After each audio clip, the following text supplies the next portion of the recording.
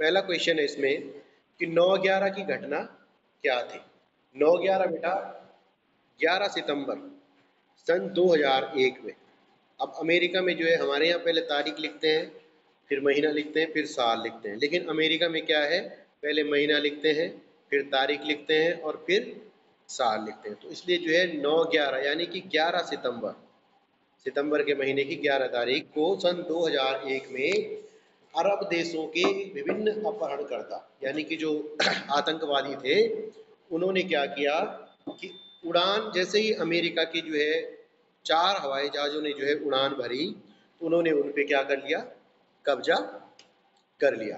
अब उन्होंने क्या किया कि वो इन विमानों को अमेरिका की महत्वपूर्ण इमारतें, यानी कि उन बिल्डिंग्स के सामने लेके गए सीध में, जो मुख्य थी, जैसे जहाँ कारोबार चलता है, जो सबसे ज़्यादा जो मतलब मुख्य चीज़ें होती है, उन इमारतों के सामने उड़ाकर ले गए। ठीक? अब चार विमान थे, इसमें से दो विमान कहाँ हुआ बेटा? न्यूयॉर्क न्यूयॉर्क जो अमेरिका का शहर है, उसमें जो है वर्ल्ड ट्रेड सेंटर के उत्तरी और दक्षिणी बिल्डिंग दो बिल्डिंग है उसकी, जो भी मतलब तो विश्व व्यापार संगठन की उत्तरी और दक्षिणी बिल्डिंग से टकराया तीसरा विमान वर्जीनिया स्थित पेंटागन से टकराया। पेंटागन में बेटा अमेरिकी रक्षा मुख्यालय है। रक्षा विभाग का जो मुख्यालय है वह इनका पेंटागन। तीसरा विमान जो है, पेंटागन में गिरा। अब चौथा विमान जो है, उसने टकराना था अमेरिकी कांग्रेस के भवन से। लेकिन वो क्या हो गया उसको? वो कहीं जो है, इससे पहले ही एक खेत में जा गिरा। ठीक? तो इस हमले को ही जो है नौ ग्यारह की घटना के नाम से जाना जाता है। इस हमले में जो है बेटा लगभग अमेरिका में तीन हज़ार लोग मारे गए थे। ठीक है बेटा? ये अमेरिका के ऊपर जो है सबसे बड़ा हमला था। तो इसी के जवाब में जो है अमेरिका ने आतंकवाद के विरुद्ध बहुत कड़े कदम उठाए। उन्होंने आतंकवाद के खिलाफ विश्वव्यापी युद्ध में जो है अमेरिका ने ऑपरेशन एंड्यूरिंग फ्रीडम चलाया। और ये अभियान जो है, उन सभी के खिलाफ चलाया गया, जिन पे जो है अमेरिका को शक था।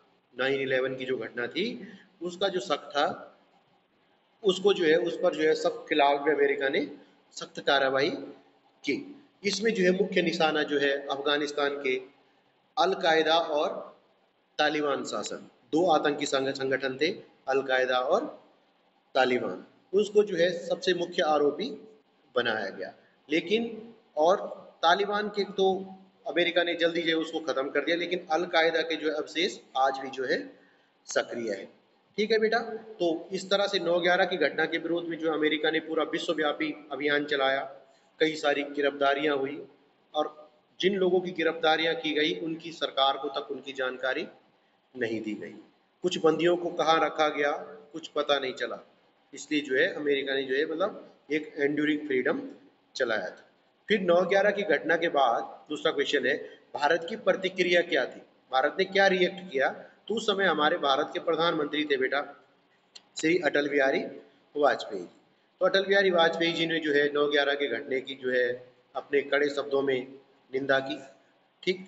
तो कई सारे जो है, वाजपेयी जी ने कठोर शब्दों में कहा कि भाई, अमेरिका जो है, वो भारत जो है हर हाल में इस आतंकवाद के खिलाफ अभियान में अमेरिका का साथ देगा। ठीक है बेटा? तो इस तरह से जो है अमेरिका ने ओसामा बिन लादेन को जो अलकायदा का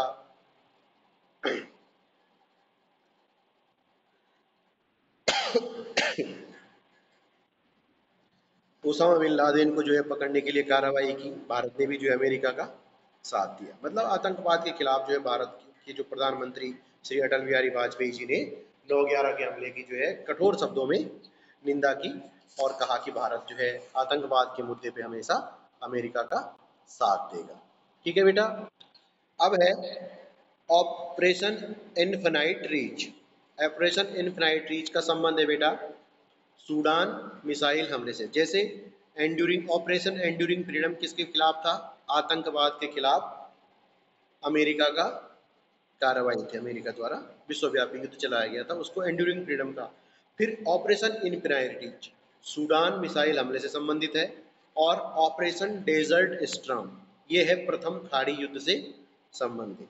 ठीक है बेटा, अब है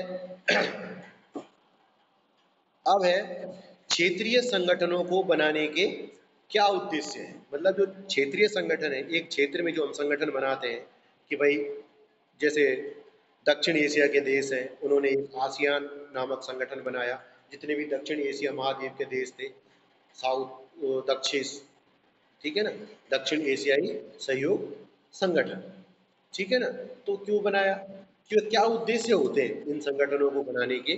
क्यों होते हैं? सबसे पहले बेटा, क्योंकि जो एक क्षेत्र होता है, उसकी लगभग सभी सारी समस्याएँ जो है एक जैसी होती हैं।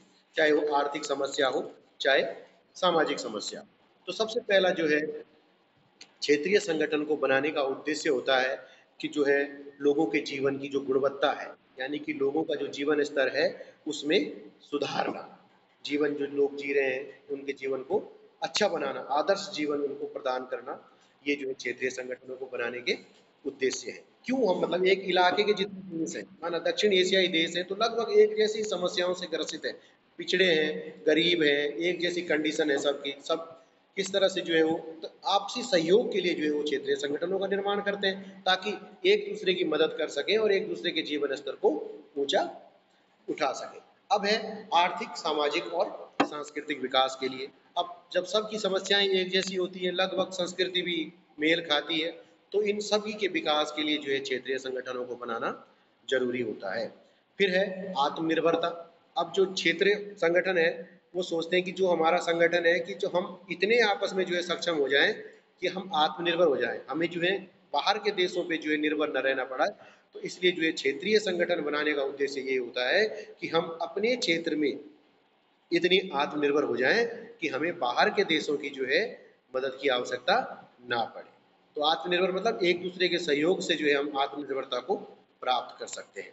ठीक है बेटा, फिर है एक दूसरे की समस्याओं को आपसी सहयोग के माध्यम से दूर करना, अन्य देशों के साथ सहयोग की भावना का विकास करना। ठीक? ये हो गया क्षेत्रीय संगठनों को बनाने के उद्देश्य। अब है बेटा, एक ध्रुवीय विश्व से आप क्या समझते हैं? एक ध्रुव। दो पोल। ध्रुव का मतलब होता है पोल। अब द्विध्रुवीय व्यवस्था थी, जब इस संसार में जो है, इस विश्व की शक्ति दो भागों में बटी थी। कब? अमेरिका और सोवियत संघ। दो ध्रुव हो गए थे, दो महाशक्तियाँ हो गई थी तो विश्व की राजनीति क्या हो गई? दो भागों में बट गई। जो विश्व की राजनीति का जो है, दो चीज़ दो का दबदबा था, एक सोवियत संघ और एक अमेरिका। तो दो भागों में बटी हुई थी। लेकिन जब अब दोनों का प्रभाव था विश्व राजनीति में तो अब जब उन्नीस सौ इक्यानवे में सोवियत संघ का विघटन हो गया तो उसके बाद क्या हुआ कि अमेरिका का जो है प्रभाव बच गया। अब दो ध्रुव थे सोवियत संघ और अमेरिका। अब एक ध्रुव समाप्त हो गया तो क्या बचा? एक ध्रुव बचा। काली की कौन बच गई? एकमात्र महाशक्ति अमेरिका। तो एक ध्रुवीय विश्व का मतलब ये होता है कि जब विश्व की राजनीति में जो है, किसी एक देश का ही प्रभुत्व हो, जैसे आजकल किसका है?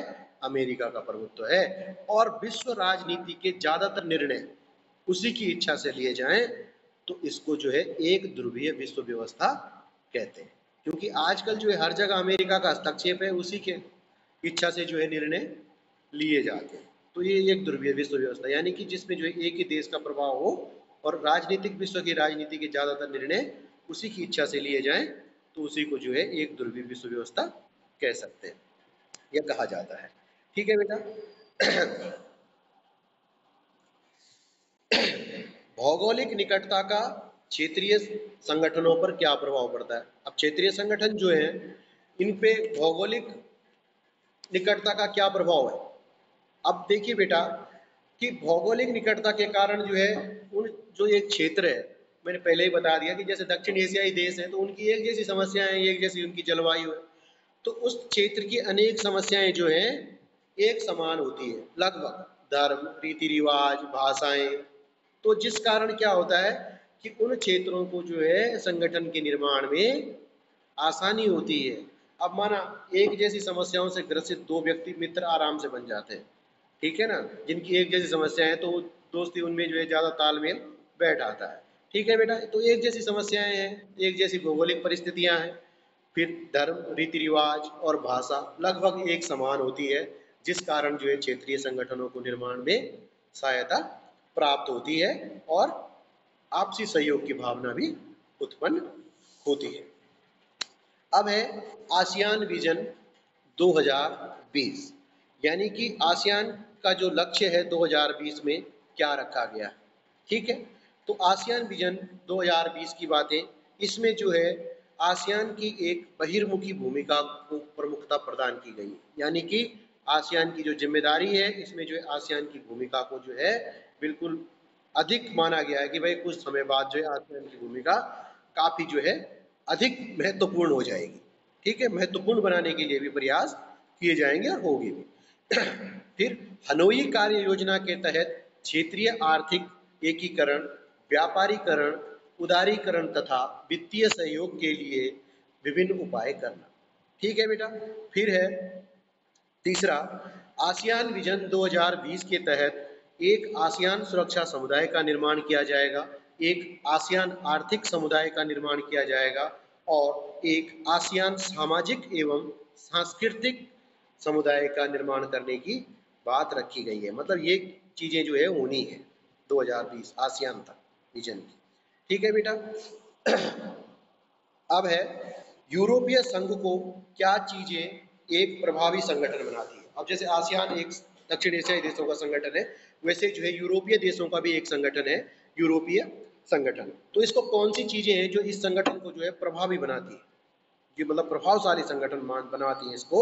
सबसे पहले इनका अपना झंडा है, अपना एक स्थापना दिवस है और अपनी मुद्दा है। मुद्रा है। मुद्रा मतलब जैसे यूरो मुद्रा का प्रचलन आपने 2002 में यूरो शुरू हुई ठीक है बेटा? तो एक मुद्रा, एक झंडा, एक गान है इनका तो ये इन चीज़ को जो है क्या करती है?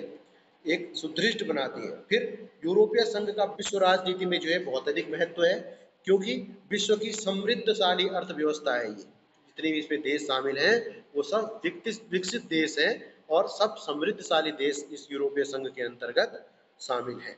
फिर इसके जो दो सदस्य देश हैं, ब्रिटेन और फ्रांस, ये जो है संयुक्त राष्ट्र सुरक्षा परिषद के स्थायी सदस्य भी हैं और इनके पास अपने परमाणु हथियार भी हैं। और विश्व की सब दूसरी बड़ी सेना यूरोपीय संघ के पास है। कहने का मतलब है कि यूरोपीय संघ जो है, बहुत ही समृद्धशाली देशों का एक संगठन है। इसका एक अपना झंडा है, अपना एक गान है, अपना स्थापना दिवस और अपनी एक मुद्रा है। ठीक, जो इस संगठन को प्रभावी बनाती है। अब लास्ट क्वेश्चन है बेटा। कि मुल्कों की शांति और समृद्धि क्षेत्रीय संगठनों को बनाने और मज़बूत करने पर टिकी है। इस कथन की पुष्टि कीजिए। यानी कि जितने भी देश हैं, उनकी शांति और समृद्धि क्षेत्रीय संगठनों को बनाने और मज़बूत करने पर टिकी है। यानी कि क्षेत्रीय संगठन ही जो है, उन सबको मज़बूत बनाता है। वो कौन कौन से कारण है? तो कहने का मतलब है कि जब भी मनुष्य को जो है अपना जीवन अगर सही बनाना है तो इसमें जो है विश्व शांति होनी बहुत ज़रूरी है, ताकि जो है मनुष्य का सर्वांगीण विकास हो सके। इसके साथ साथ विश्व का आर्थिक विकास भी होना बहुत ज़रूरी है और इन दोनों क्षेत्रों को जो ये दोनों क्षेत्र हैं, चाहे आर्थिक विकास है, चाहे सामाजिक विकास है। यानी कि सर्वांगीण विकास के लिए जो है एक आर्थिक व्यवस्था भी मज़बूत होनी चाहिए, आर्थिक विकास भी होना चाहिए और व्यक्तित्व का विकास भी होना चाहिए। और इन चीज़ों को जो है कैसे पूरा किया जा सकता है? एक क्षेत्रीय संगठन बना करके इनको हम पूरा कर सकते हैं। इसलिए जो है, विश्व शांति और समृद्धि के लिए क्षेत्रिक आर्थिक संगठन अवश्य है, ज़रूरी है और प्रत्येक महाद्वीप में लगभग सभी जगह आर्थिक संगठन बने हुए हैं। सामाजिक और आर्थिक संगठन तो लगभग हर महाद्वीप में, चाहे एशिया, यूरोप, जहाँ भी अफ्रीका, हर जगह जो है संगठनों का निर्माण किया गया है ताकि जो है अपना आर्थिक और सामाजिक विकास किया जा सके। ठीक है बेटा? और ये संगठन क्या करते हैं? इन संगठन जो है अपने जितने भी सदस्य देश हैं, उनको आर्थिक विकास में बढ़ावा देते हैं और इन्हें युद्ध से भी दूर रखते हैं। अगर जैसे टकराव की स्थिति भी आती है तो उसको बातचीत के माध्यम से सुलझा देते हैं। तो इससे क्या होता है? विश्व में शांति बनी रहती है। ठीक है बेटा?